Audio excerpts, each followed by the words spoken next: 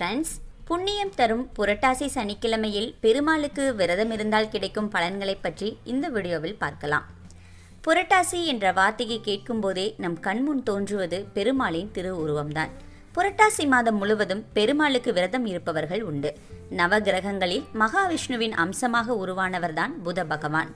புதன் கிரகம் உச்ச பலம் பெறுவது கன்னிராசியில் அதனால்தான் சூரியன் கன்னிராசியில் சஞ்சரிக்கும் புரட்டாசி பெருமாளுக்குரிய மாதம் என பெரியவர்கள் வகுத்திருக்கிறார்கள்.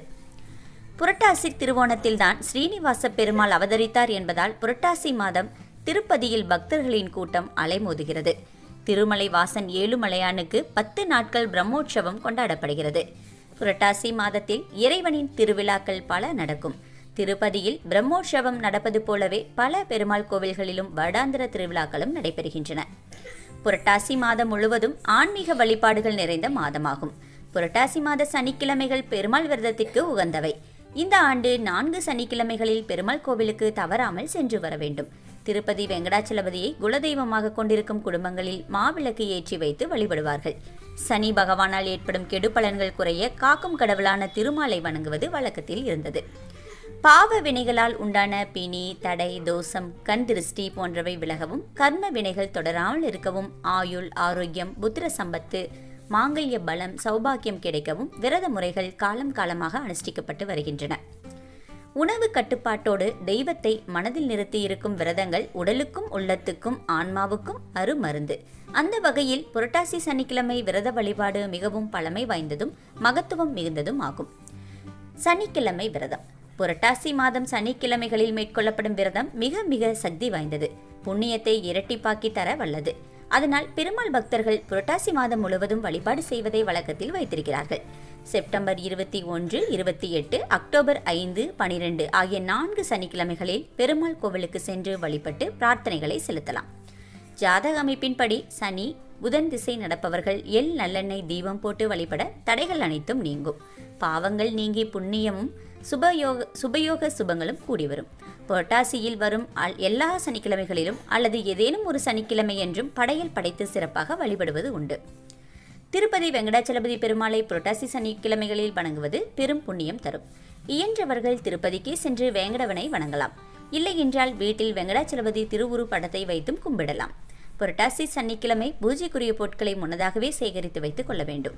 திருமலை வெங்கடேச பெருமாளின் படம் ஒன்றை வைத்து மாலை சூட்டி வெங்கடேஜ அஷ்டகம் சொல்லி பூஜை செய்ய வேண்டும்.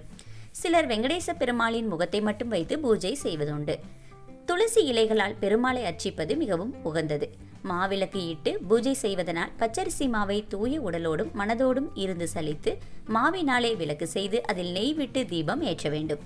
பெருமாள் படத்தின் முன்னர் இப்படி நெய் தீபம் ஏற்றுவதால் வறுமை நீங்குவதோடு வீட்டில் செல்வ செழிப்பு ஏற்படும் என்பது இந்த நம்பிக்கைதான் ஐதீகம். புரட்டாசி விரத மகிமை என்னன்னு பார்க்கலாம். ஜாதக ரீதியாக சனி கிரகத்தால் சிரமம் அனுபவிப்பவர்கள் பெருமாள் கோவிலில் நல்லெண்ணெய் தீபம் ஏற்ற வேண்டும். இதனால் பெருமாளின் அருளால் சிரமங்கள் பல மடங்கு குறையும்.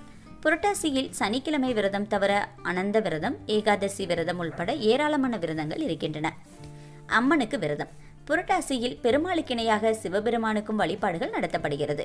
அதேபோல் அம்பாளுக்கு உகந்த நவராத்திரி ஒன்பது நாட்கள் வழிபாடும் புரட்டாசியில் வர இருக்கிறது அத்தோடு லலிதா சஷ்டி விரதம் உமா மகேஸ்வரி விரதம் கேதார கௌரி விரதம் ஆகியவையும் அம்பாளுக்கு உகந்த புண்ணிய தினங்களாகும்.